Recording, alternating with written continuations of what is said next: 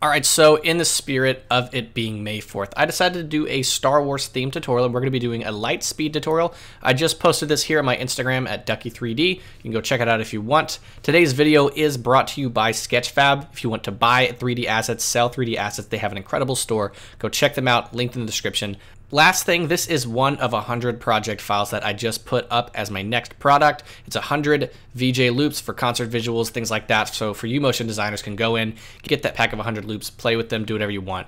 That is also linked in the description. Everyone in Patreon gets that 50% off. Now let's get into the tutorial. All right, this one's going to be quick and easy. Make sure that you click on this little camera icon and that you're in the Eevee render engine. Make sure that bloom is on. Now let's go ahead, Shift A, and we're going to add in a cylinder. Now I'm going to hit RX90 and we're going to hit SY8. That's scaled it on the Y axis by 8. I'm going to hit Tab, click on the little face selection, click this guy. I'm going to hold down Shift, click that guy, hit X and click Faces. All right, we're going to be using a particle system to do this, so let's go ahead and make our particle. So Shift A, and we're going to get in a UV sphere, and we're going to bring him over here. And I'll say bring him a little bit this direction out of the way. And let's stretch him out. So let's stretch him on the Y by quite a number and then scale him down just so he's a manageable size. And then we'll scale him out some more. So that's where he is now. Let's go into the rendered view and let's give him a glowing material. So go to the material selection here, click that from principled, go to emission and give it, you know, a brightness right about there and make it kind of blue. You can use a reference, but I'm gonna keep it kind of blue here from what I remember light speed looking. Now, I'm gonna go to, I'm gonna go back to solid view and let's go ahead and start a particle system. So click here, click the little plus icon and click hair. What I'm gonna do is I'm gonna hit render, go from path to object so that we can actually have an object in our particle system.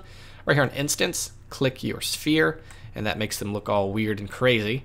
We're gonna go ahead and click object rotation. And if you have your object rotating this way, then it should look fine. But of course, you can always rotate your object to do whatever you want it to do. So Right here, let's go back to the particle system and turn up scale randomness. So that's going to look good. And then bring our scale down some as well. Let's see how it looks in the render view. So it's looking like that. If you don't want this here, just to get it out of the way, the big cylinder, add a wireframe modifier and bring your thickness to zero. So this is what we have now. Kind of looks like light speed, but we're not quite finished. I'm going to bring that wireframe thickness back because now we're going to extend this to make it a looping animation. So click on them, hit M, make a new collection, and just call it whatever you want. I'm gonna keep it at collection two. And this next part is very important. Go to Shift A, collection instance, collection two, and then hold down control so that you can see it snapping and snap the edge of these two together so that they're both touching very closely. Shift D, do that again, and then Shift D, do that again. I think that's all we're going to need for now. Now let's go ahead and add in our camera. So I'm going to hit the tilde key, go to the front view, and then I'm going to shift A and add in a camera. I made it go into front view so that the camera is pointing forward here by default. I'm going to hold down control so he snaps to the view, bring him to the edge of the cylinder, which would be here on negative 8 for me. And then now we are here. Let's go ahead, go back and remove the wireframe. I mean, make the wireframe at zero. So let's animate this guy very quickly. So click on the camera. I'm gonna give this uh, 40 frames. Actually, I'm gonna give it 80 frames. We might need to go fewer, let's see. Very important, hit the left arrow to go to the frame zero. Click on the camera, click on this little icon right here and go to the very end and give it positive eight to snap him to the very edge of our cylinder. So if you will bring up the thickness, you can see he's at the edge of the cylinder. So that's, that's exactly what we want. For me, that's positive 8. Click on your camera and apply that. So now our camera will be traveling through our cylinder. So now let's make this look like hyperspace. If you can see, he'll be traveling through just like that, and then it's a seamless loop. Um, but it doesn't look quite right. Click on your camera, click on the little green camera icon. I'm gonna hit spacebar to press play and bring the focal length really far back. So I'm gonna give it like something like this. So, so far this is looking really, really cool. These might be a bit long, but that could just be a more stylized decision for you. If you want to change that, you can always change the scale of your particle. So something like this, and then I'm going to add more particles in the particle system. So something like Looks like I'm adding to around 2,000. And then now we have that classic light speed look that we're trying to go for for this Star Wars style.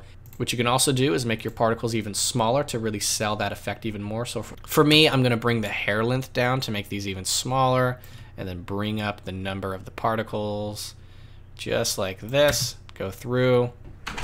So this for you can just be whatever settings you like for your warp speed to look.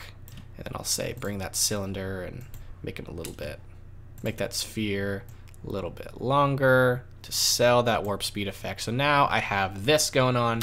So this is kind of the majority of it. One thing I want to do, I don't like how I can see all this bunched up over here. I want to I want it to kind of look like it's fading away. So I'm going to add a little volume trick to this. So Shift A, mesh, and add in a cube. Hit S8 to scale and fit this whole scene. Hit M and move him to collection 2 so it's doing all that. We're going to add a special little material to this. So hop on over to the shading tab and on your cube, make sure your cube is selected. Click new, delete principled, shift A, search volume and get principled volume put the volume node into volume, and now it's starting to fade away. I'll bring my density down just a little bit, and then I'll click on the sphere, bring up the strength of the sphere. So that's looking really good. And now we have a warp speed animation loop, loops seamlessly, looks really cool. It's not exactly how it looks in Star Wars, but it's as close as I can get with my work. So hope you enjoyed this, hope you learned some stuff, and feel free to use this for whatever you want.